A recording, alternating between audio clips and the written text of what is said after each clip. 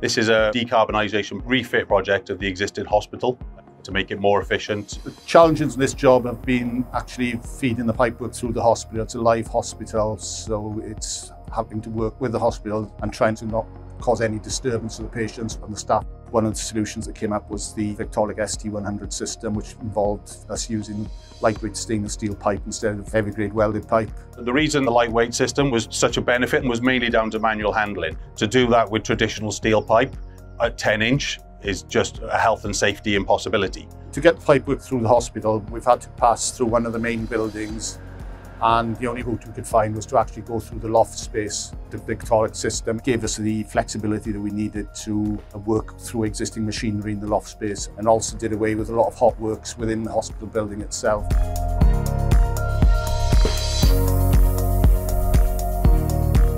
The benefit of using Victaulic and no hot works was a big plus.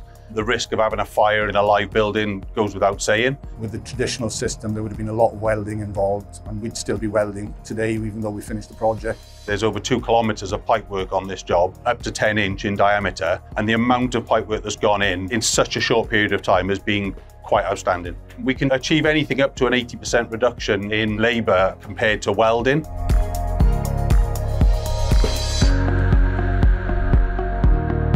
Victaulic is one of the best systems for carbon reduction.